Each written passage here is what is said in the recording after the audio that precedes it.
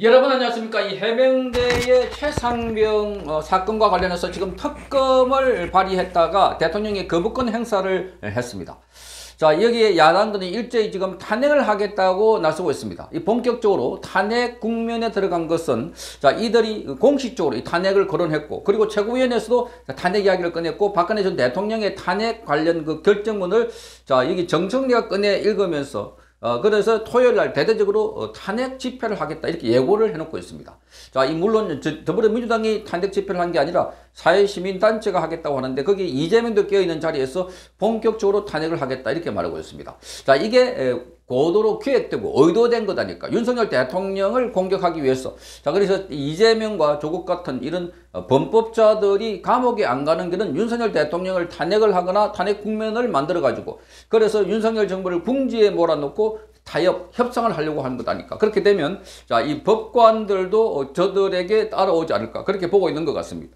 어, 지금 이저 최상별 사건과 관련해서는 어, 공수처에서 수사를 하고 있습니다. 공수처 수사를 하고 있는 중에 특검을 하겠다는 건 말이 안 된다는 겁니다. 자기들이 만들어 놓고 그것도 패스트 트랙 가지고 일방적으로 밀어붙인 공수처에서 수사 도중에 특검을 꺼냈다는 것은 정치적이고 거기 특검도 바로 어, 민주당에서 임명한 사람을 대통령이 바로 지명을 해야 되는 이런 구도입니다. 자 그런데 공수처 수사에서 지금 나오는 얘기가 VIP 경로설 그러니까 대통령이 경로했다. 자, 대통령이 이철상면 사고 관련해서 보고를 받고 경로했기 때문에 그래서 외압을 행사했다 이렇게 주장을 하고 있습니다. 자, 이 경로 자, 그러니까 대통령에 걸려있는 프레임이 많습니다. 이걸 또 이용해가지고 대통령을 공격하고 있는 것 같은데. 자, 그런데 이 건과 관련해서 어, 지금 여당의 신동욱 당선인. 자, 이 SBS 어, 앵커 하다가 TV조선 앵커를 오랫동안 했던 시, 에, 신동욱 당선이 아니, 대통령은 경로하면 안 되나 하고 아주 직격탄 날려버렸습니다.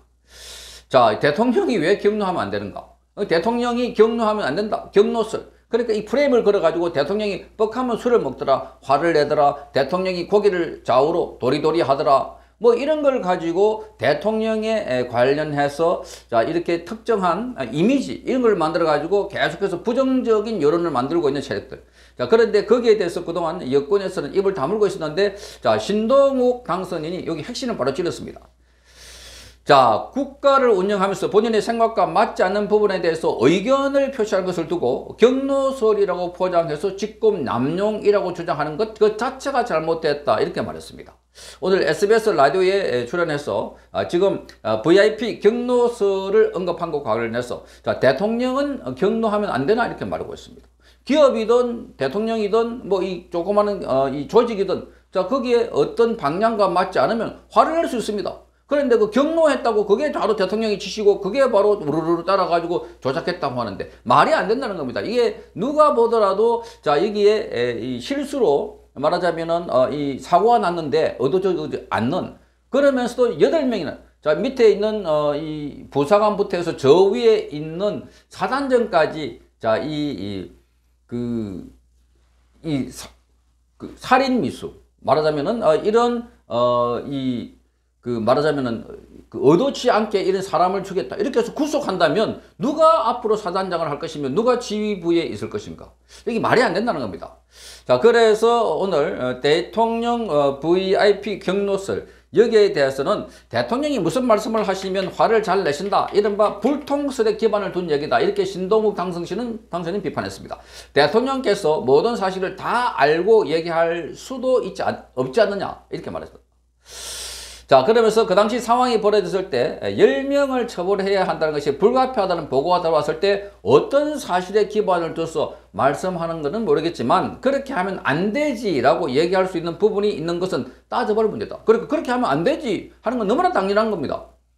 자, 그 특히나 대통령 국권의 통수권자이기도 한데 그러면 저 국권 관련해서 이렇게 구조 활동을 나갔다가 이렇게 불의의 사고로 그러면 그 라인 인 사람 전부 다 처벌해야 되겠다. 아, 이렇게 하면은 이게 어떻게 그게 가능한가? 그래서 대통령이 화를 냈다는 거. 그게 뭐가 잘못됐는지. 그것 때문에 지금 했나 안 했나. 그래서 지금 대통령으로 몰아가고 있는. 이걸 보면 너무나 코미디 같은 상황이 벌어지고 있다는 겁니다. 자, 국가 운영만 그런 것이 아니고 기업을 운영하는 분이라든지 모든 분야에서 책임자는 최종적으로 그 부분에, 그 부분에 대해서 의견을 제시할 수 있다. 이렇게 신동욱 당선인은 말하고 있습니다. 자, 그래서 이 경로 정치가 장기적으로 지금 음, 뭐 이렇게 잘못됐다 이렇게 주장하고 있는 세력들.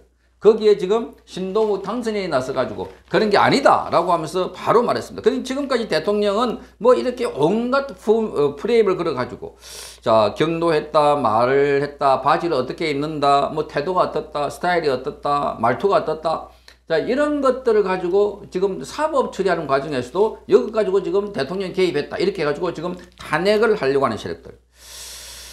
자, 그런데 거꾸로 보면은 이재명이 지금 경도 정도가 아니라 교묘하게 당을 자기 개인 정당으로 만들어 버리고 어, 자기가 완전히 장악해 가지고 이 사람들을 내치거나 할 때 그거 보면 정말 공작과 술수에 능하다 하는데 그 이재명에 대해서는 제대로 말을 못하고 있는 사람들, 그 언론들. 자, 그러니까 이런 걸 보면, 자, 이재명은 공작도 잘하고 술수도 잘하고 뒤집어 버리기도 잘하고 상대방에게 뒤집어 씌우기도 잘한다 하는 비판을 받아왔습니다. 사법 방해가 바로 그런 것 아닐까 이런데. 자, 이게 대통령뿐만 아니라 김건희에서도 마찬가지입니다. 뭐 줄리라고 했다가 성령을 했다고 했다가 뭐이 몰카를 했다가 온갖 걸 다 동원해 가지고 이뭐 말하자면은 공작성 어, 폄훼 또는 어, 비하 이런 걸 여론을 만들어 가지고 계속해서 부정적인 이미지를 만들어가고 공격하고 있는 거. 박근혜 전 대통령도 부정적인 이미지를 계속 만들어가지고 뭐 주사를 맞았다, 수술을 했다, 미래를 즐겼다. 대통령의 통치 방향과 방식과 전혀 관계없는 그런 걸 만들어고 탄핵을 했던 세력들이 지금 그것도 하려고 한 것 아닐까 이런 겁니다. 말하자면은 지금 언론들이 만들어 놓은 프레임 딱 따랐어. 그래서 야당은 거기서 대통령이 벗어났기 때문에 그래서 공격하려고 하는 거. 자, 이거야말로 아, 이 가짜 조작 또 왜곡하는 이 언론과 그리고 왜 말하자면 야당 세력들에게 넘어가면 안 된다 하는 것을 단적으로 보여준 것 아닐까 이렇게 보여집니다. 그런데 같은 날 조혜진 이 삼선 조혜진 의원은 자, 이 윤석열 대통령의 자, 경로 정치. 이거는 자, 행정 과정의 왜곡뿐만 아니라 대통령의 감정 조절이 안 된다는 인식을 확산시키고 있다. 그러면서 대통령이 그렇게 하면 안 된다 이렇게 주장하고 있습니다. 그러니까 어떻게 보면은 지금 삼선의 조혜진보다는 이제 초선 어, 이 신동호 의원이 더 명확한 관련된 이해를 하고 있고 야당과 여당의 관계 지금 민주당의 어떤 존재인지를 잘 알고 있는 것 같습니다. 자, 이 조혜진은 이렇게 말합니다. 자, 대통령이 감정 개입 없이 일방적인 문제, 일방적인 방식으로 문제를 처리했다면 이 사안이 전혀 이슈되지 않았을 것이다. 그런데 대통령이 경로했다고 하니까 그게 역작용으로 지금 혹독하게 대가를 치르고 있다. 이런 식입니다. 그러니까 경로했다고 하니까 그것 때문에 지금 대가를 치르고 있다. 이렇게 말하고 있습니다. 그러면서 조혜진은 이렇게 말합니다. 자, 이번 사건을 교훈 삼아서 경로 운운하는 일이 다시 두 번 다시 보도되거나 시중에 오르내린 일이 없도록 회의식 상에서 물론이고 개인적인 업무 대화에서도 불필요한 감정 표출이 없도록 삼가하고 조심해야 된다. 이렇게 말하고 있습니다. 자, 요게 조혜진 같은 유가 누구냐면 좌파들이 잘 이용해 먹고 있는 좌파들이 만들어 놓은 프레임 따라서 그대로 움직이고 있습니다. 저거는 극우담이 아 그래 그래 저건 극우야. 자, 5.18 거기는 반드시 가야 돼. 임해 임해 임을 향한 행진곡 노래 불러라 하면 불러야 된다. 박정희 대통령 요소에 참여하면 안 된다. 안 된다 할 사람 같아 보입니다. 그러니까 좌파들이 만들어 놓은 프레임에 따라서 움직이는 세력들. 그러니까 이런 사람들이 그동안 어, 이 여당의 자, 이 자기 그 지역에 뭐이 이 삼선, 뭐 이선, 삼선. 텃밭에서 고, 곱게 자라도니까 싸울 필요도 없고 공천만 받으면 당선된 사람들이 노니까 이렇게 제대로 싸울 줄 모르는 사람들. 그러니까 이런 사람들이 거의 대부분이 아닐까 하는 생각이 드는 겁니다. 어떻게 보면 신동욱 어, 당선인. 자 이렇게 지금 김민전 당선인. 이런 사람들이 최근에 부각이 되고 있습니다. 그러니까 이 정치 신인들이 이제는 제대로 역할을 하고 싸우는 사람들 핵심을 짚어내는 사람들 싸우라고 돌라, 돌멩이를 들고 뭐 폭언을 하라는 소리가 아니라 정확하게 핵심을 짚어가지고 거기에 집어낼 수 있는 사람들 방송에 출연하고 SNS에 글을 올리고 유튜브에 출연해서 자 상대방의 이 문제가 뭔지 자, 지금은 더불어민주당에서는 일제히 탄핵을 하자고 와 나서고 있는데 여기는 무덤덤하게 표정을 짓고 있는 국민의힘은 무덤덤하게 지금 뭐 하는 거지? 왜 저러지? 이렇게 하고 있습니다. 당장 이번 주 토요일부터 대대적인 집회를 하겠다고 예고를 해놔놓고 전체적으로 지금 좌파 매체들이 탄핵 분위기를 만들고 있습니다.